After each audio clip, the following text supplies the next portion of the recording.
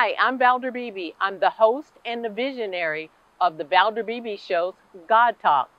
Some people talk to God, and others believe that God talks to them. Join us in conversation with authors, religious clergy, metaphysicians, and regular people like you and I and God Talk. God Talk is a podcast available on FM radio, Roku TV, and online. Subscribe at ValderBeebeShow.com. You can also subscribe at YouTube.com slash ValderBeebeShow.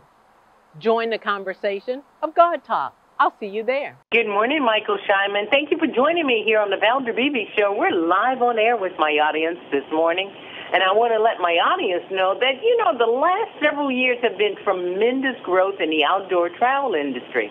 So we invited Michael Scheinman, CEO of CampSpot, to talk about camping, which has exploded in popularity over the last several years, especially with you baby boomers who are retiring at a rate of, I heard, 10,000 per day in 22 and be, in 2022 and beyond. Michael Scheinman, welcome to the Valder Beebe Show.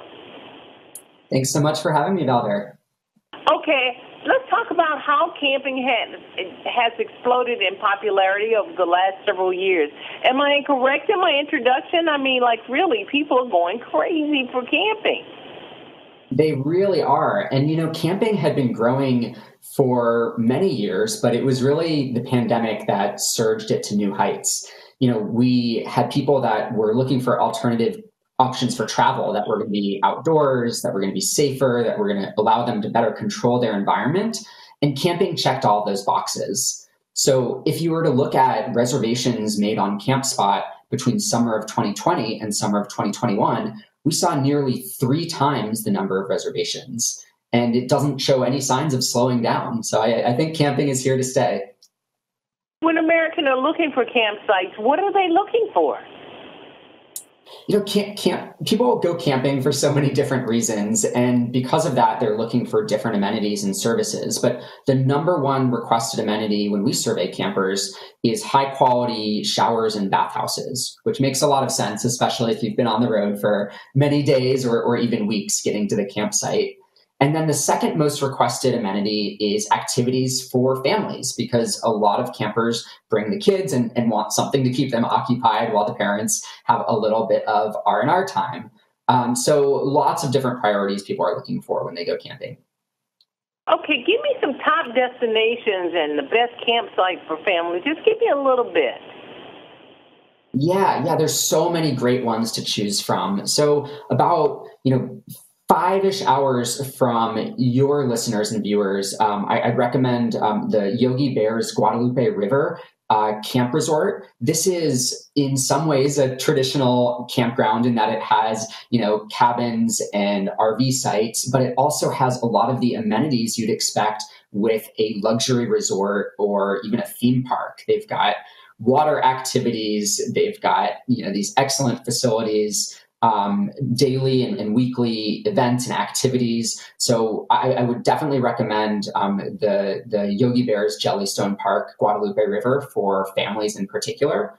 Um, another great destination would be the Camp Fimfo Resort, uh, which is in Texas Hill Country. That's another one that has camping style accommodations, but also resort style amenities, which is a common theme um, that you'll find uh, in, in a lot of full service campgrounds today. Yeah, those are all in pretty locations. All right, finally, give me some tips on uh, maybe the novice or the not so seasoned camper, but they want to plan their next camping vacation. So the number one tip I can give is book early. Because of that surge in demand, we're seeing campgrounds sell out faster than ever.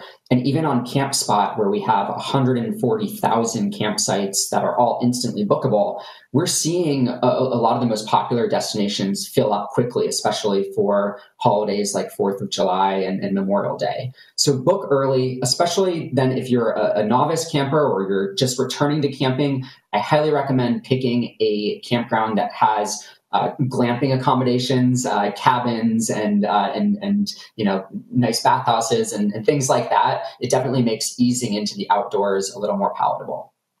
All right then.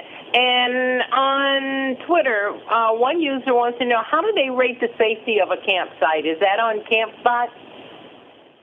I'm sorry, can you repeat that question? Uh, this this comes from uh, people listen to us on multiple platforms, and Yeah. this come, this question comes from Twitter. They want to know how do you rate the safety of a camping site? The safety, the safety. So you can look at safety in, in many ways, and I, I don't think there's uh, one standard way to do it. Um, you know, as it relates to you know COVID safety, for example, the very fact that these accommodations are outdoors adds an extra layer of safety. But for some of the campgrounds that have water parks and um, other family-friendly activities, it's really unique to what they're offering. And so I'd encourage you to check out our website, campspot.com, and research the specific campground that you're looking for. Um, and, and of course, when in doubt, you know the, the friendly staff at these campgrounds are always happy to help give more information about safety measures and um, and and what you can expect when you actually arrive. Michael Scheinman, CEO of CampSpot, thank you for that great information. I'm thinking of going camping this summer. Thank you very much. Thanks for having me. Have a great day.